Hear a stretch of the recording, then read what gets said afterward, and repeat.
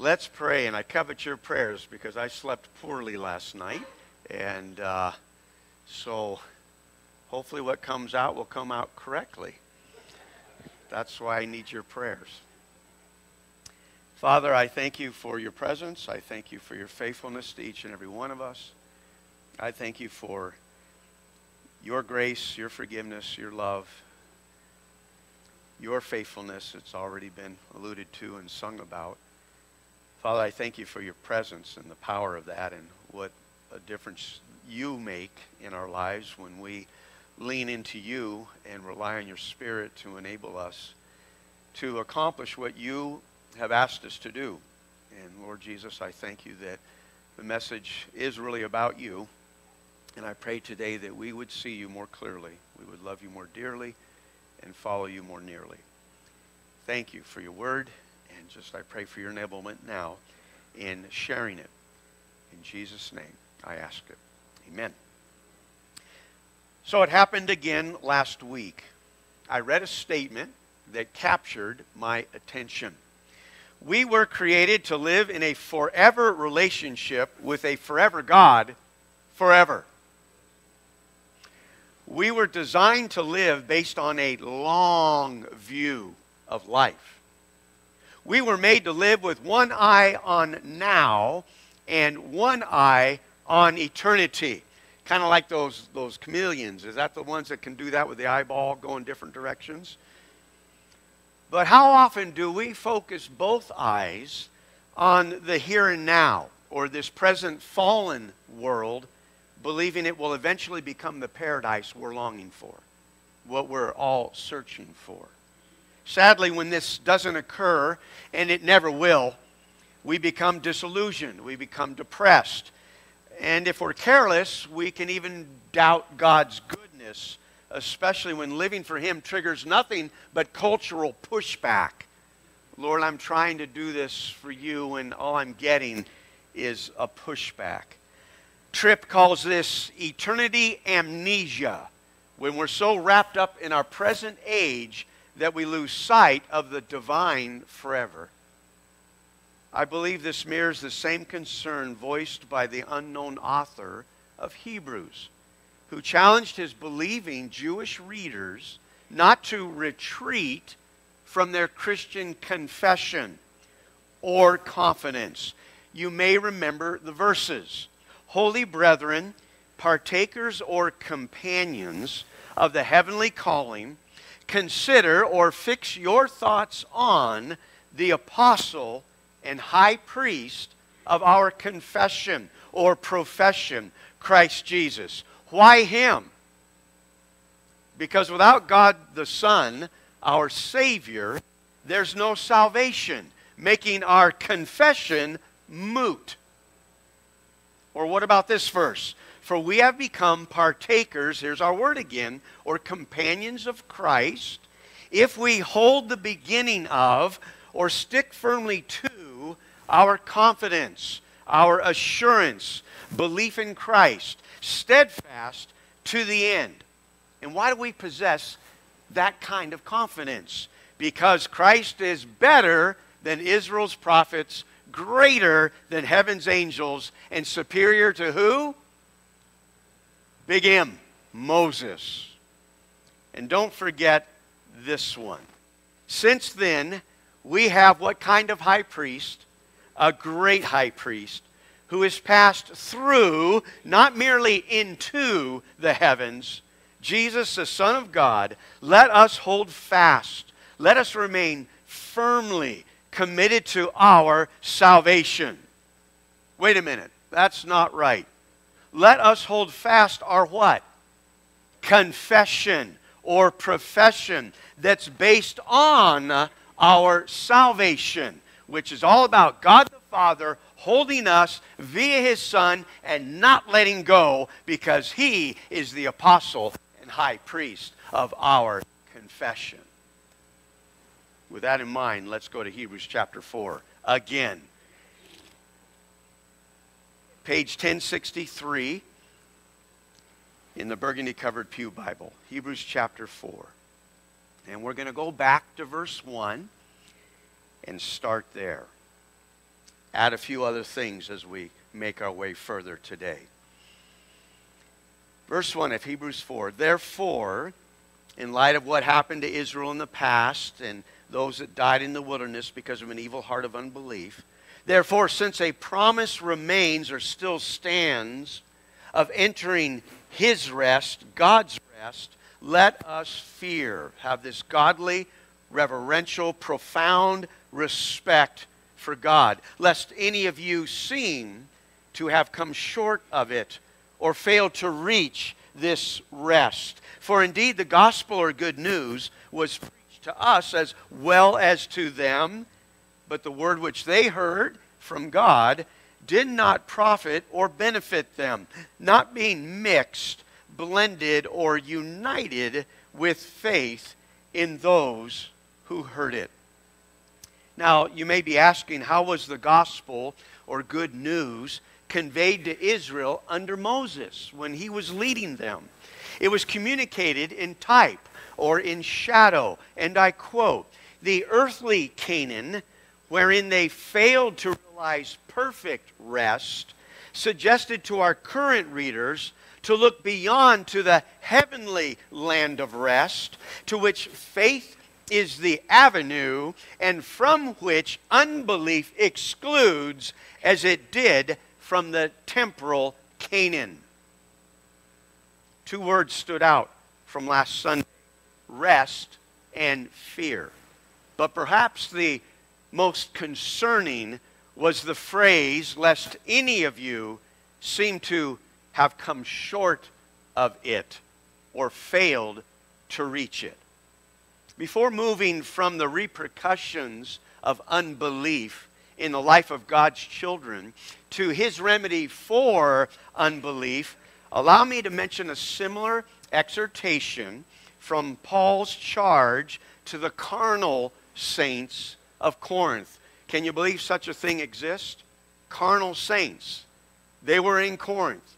And Paul wrote to them, he said, Examine yourselves as to whether you are in the faith. Prove or test yourselves.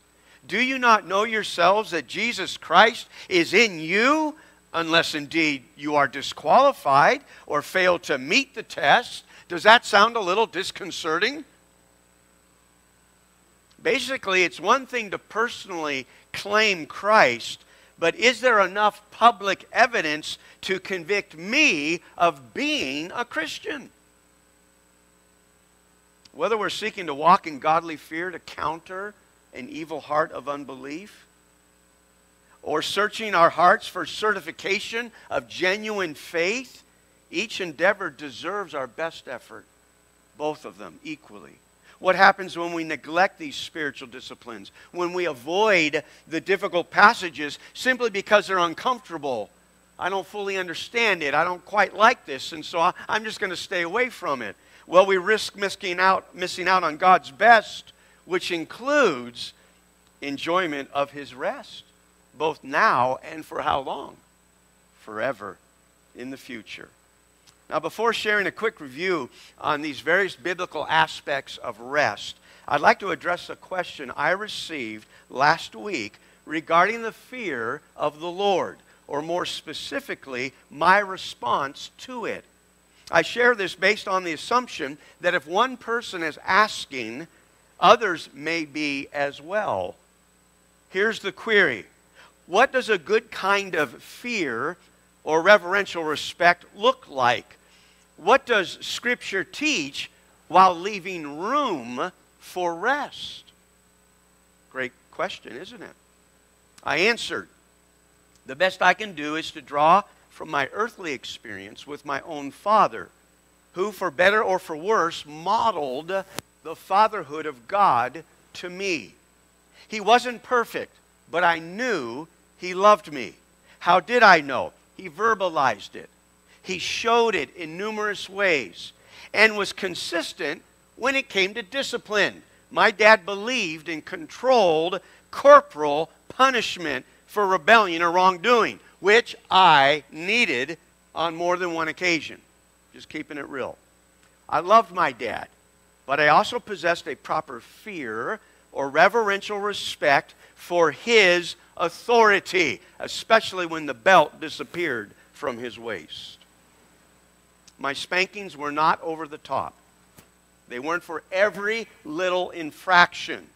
They were reserved for the stuff that deserved it. And he meted it out. However, despite those moments, I wasn't afraid of my dad. Do you understand? I wasn't afraid of my dad. I didn't grow up living in fear. I didn't grow up cowering every time his shadow crossed my path. Our home was a happy and peaceful place most days, and I felt safe there. I felt secure there.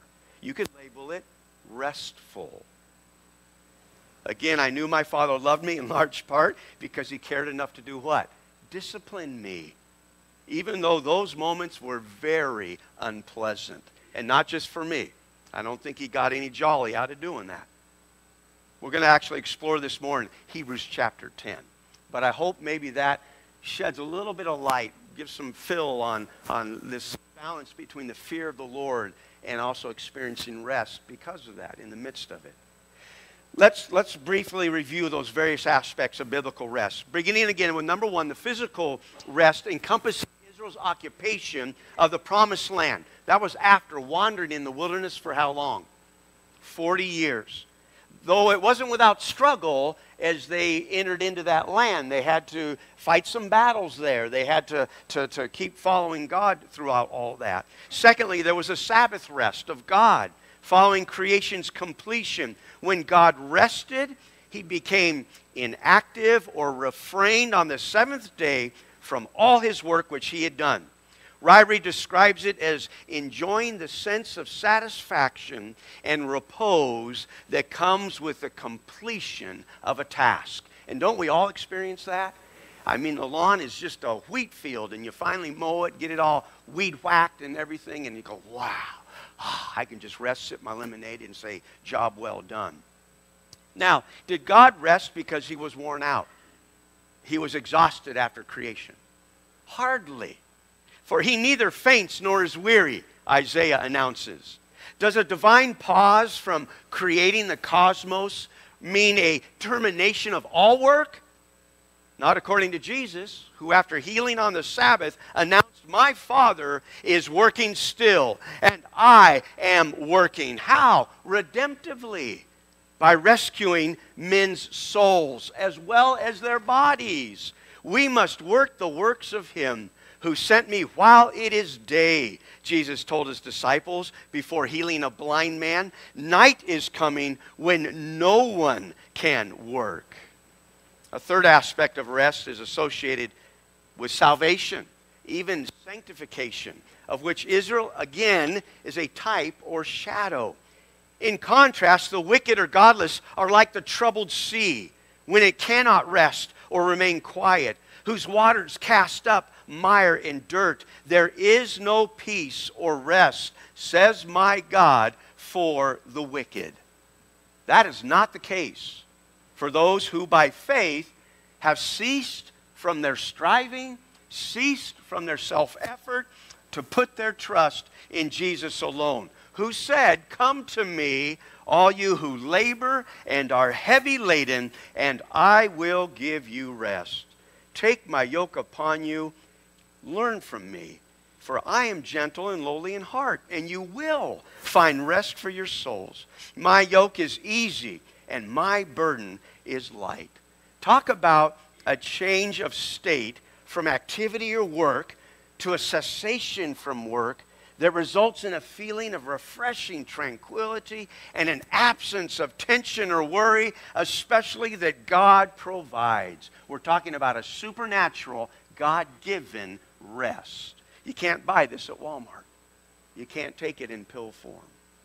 Fourth is that victorious or triumphant rest amid the earthly battles, like Israel fought during her conquest of Canaan. Throughout the acquisition of the promised land, a complete reliance on God was necessary.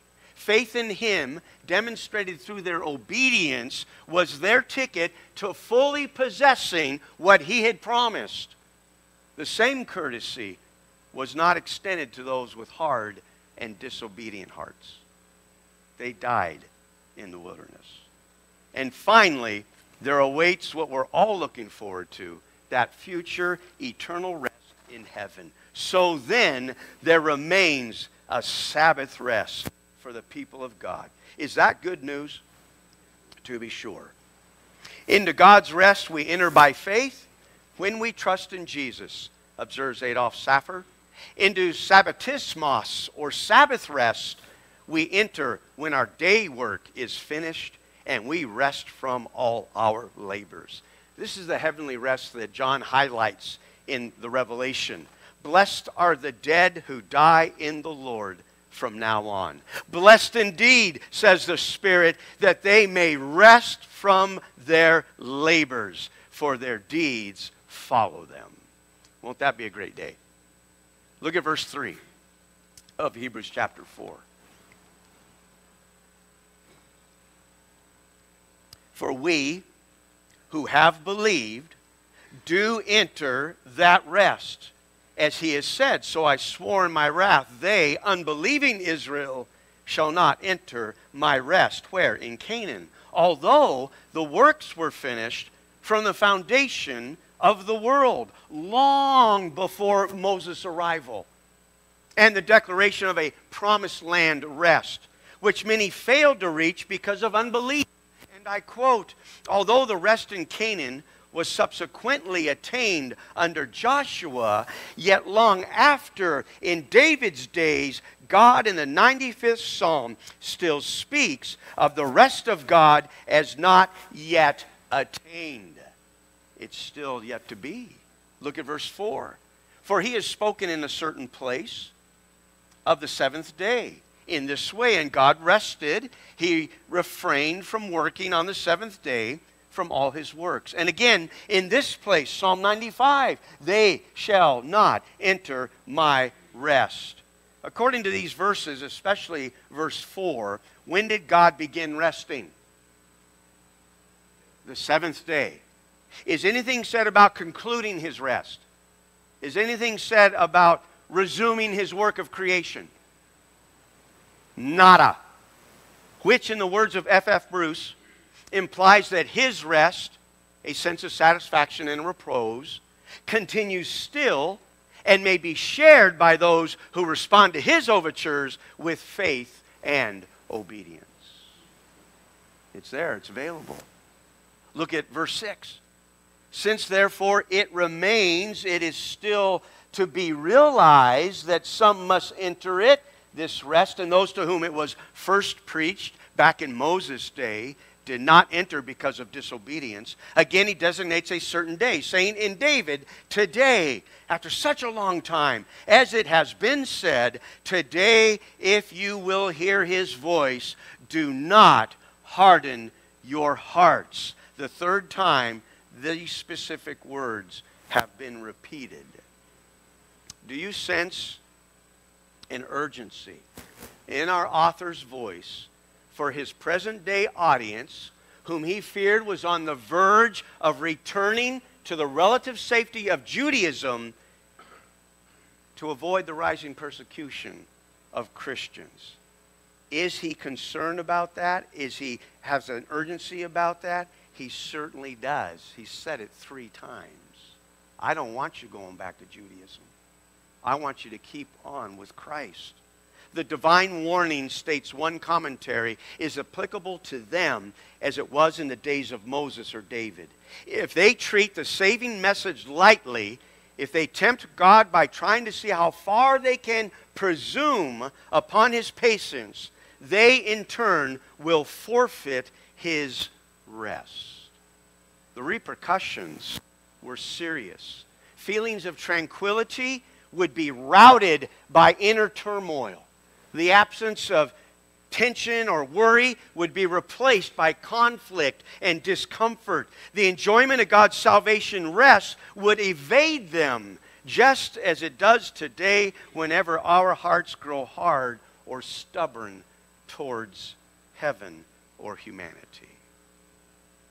Let's talk about relationships. They can be wonderful, right? Husband, wife, parent child, pastor parishioner, siblings, friends. They can be wonderful. They can be the icing on the cake until emotional upsets or betrayal occur. Then, if handled incorrectly, closeness dissolves, distance creeps in, creating separation rather than unity. And honestly, there's nothing restful about relational conflict, especially with God. But thankfully, it doesn't have to stay that way. Look at verse 8. For if Joshua had given them rest, temporal at best, then he would not afterward have spoken of another day or a true rest. There remains, therefore, as yet unoccupied or unrealized, a rest, a sabbatismos for the people of God. For he who has entered his rest, God's rest, has himself also ceased from his works as God did from his. That this future eternal Sabbath rest in heaven won't be fully realized until we reach glory is clearly taught in Scripture. It is quite literally part of our spiritual heritage, defined by Peter as an inheritance, incorruptible, undefiled, that does not fade away, reserved in heaven for you. What a rest will be ours in that day. Explained in one resource as rest from weariness. Anybody weary here today? Sorrow. Anybody experiencing sorrow today? Sin. Anybody ready to be free from that? Rest in the completion of God's new creation. Behold, I'm making how many things new? All things new. Moses, the representative of the law, could not lead Israel into Canaan. The law leads us to Christ, and there its office ceases as that of Moses on the borders of Canaan. It is Jesus, the antitype of Joshua, who leads us into the heavenly rest. Thank you, Lord. However, though this rest remains for the people of God, it does not prevent us from living presently in its light by faith, just as those Old Testament saints in Hebrews chapter 11 walked by faith while awaiting their eternal homeland, their heavenly city, whose builder and maker is God. What is our life if not a preparation for paradise? He's getting us ready. Look at verse 11. Let us, therefore, in light of all this, be diligent, strive, make every effort to enter that rest, lest anyone fall after the same example of disobedience. Hmm. Resting by faith in Jesus and laboring to enter that perfect rest which remains. Paradox or privilege? Perhaps two verses will bring some clarity. The first one's heavenly, the second one is earthly. Here's the first one. I'm sure of this, Paul encouraged the saints of Philippi, that he, God, who began a good work where? In you, this is all about him, will bring it to completion at the day of Jesus Christ. Will heaven uphold its end of the deal? You can bank on it. But what's our part on this side of eternity? Our part is to continue in the faith, stable and steadfast, or with confident assurance in Christ, according to the author of Hebrews, not shifting from the hope of the gospel that you heard. Interesting fact about Colossae it was located in an area prone to earthquakes. So these saints understood Paul's admonition about not shifting, just as the Hebrew readers grasped the warning to give the more earnest heed to the things they had heard, lest they begin to what? Drift away. Again, as we learned earlier, let us hold fast our confession or profession based on our salvation which is all about God the Father holding us via his Son, the apostle and high priest of our confession. I begin today with a captivating quote. We were created to live in a forever relationship with a forever God. For how long? Forever. We were designed to live based on a long view of life. Why does knowing this matter? Because it will prevent eternity amnesia, which will assist us in avoiding the repercussions of unbelief. If I can have that heavenly mindset every day of my life, what's that going to do to my faith? It's going to fuel it. Tripp gives this reminder. Long view living is wise living. Long view living is Godward living. Long view living in light of eternity is hopeful living. Long view living will make you thankful for grace and, in my own words, for the rest we enjoy now while waiting for the eternal rest yet to come. Long view living. Final question Is there a remedy for an evil heart of unbelief? There is. Are we able to counter a lack or lapse in faith? Yes. How? Through the word below what we hold in our hands and through our Lord above, the one helping us in more ways than we'll ever fully understand. That's how. More on this next Sunday when we wrap up chapter 4, and that's my goal to wrap up chapter 4. But for today, let's close with a timely reminder of just how much each of us really needs the Lord.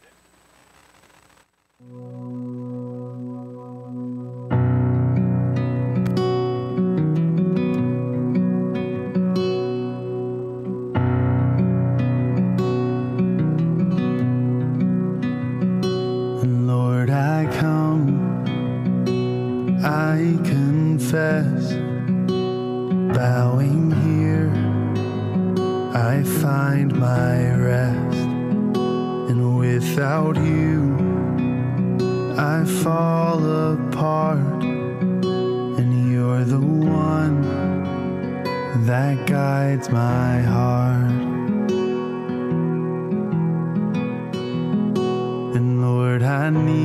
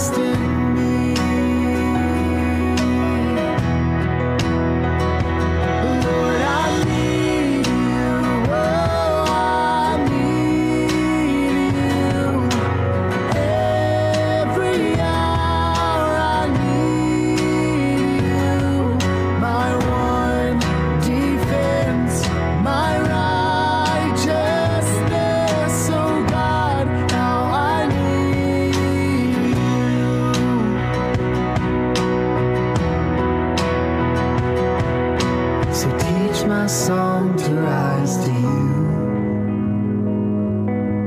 When temptation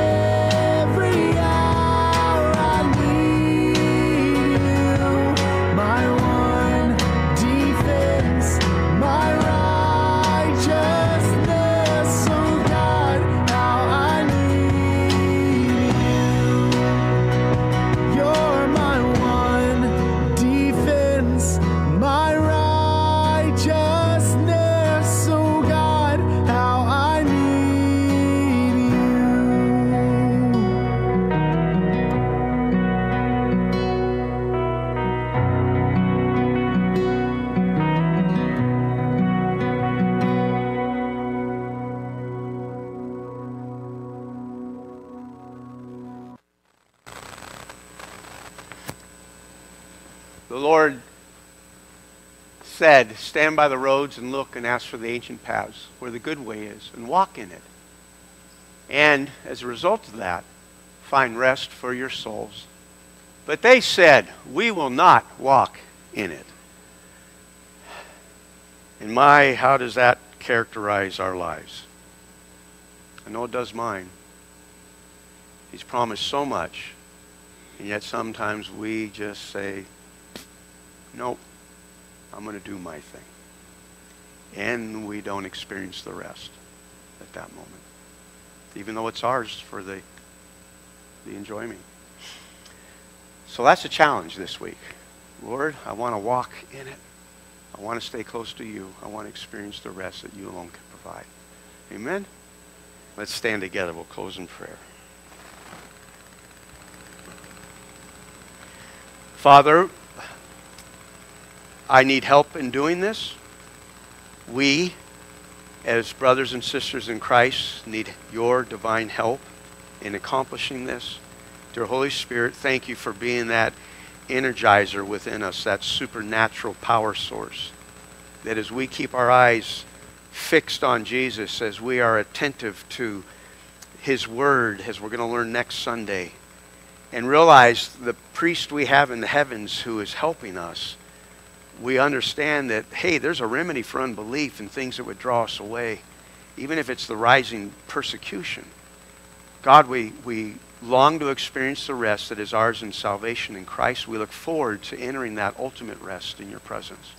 But until that happens, we need you. And we thank you that it's a walk of faith and that you're faithful to us. So we give the week ahead to you. Pray your will be done in our lives as it is in heaven. In Jesus' name, amen. God bless. Thanks for coming and packing out the early.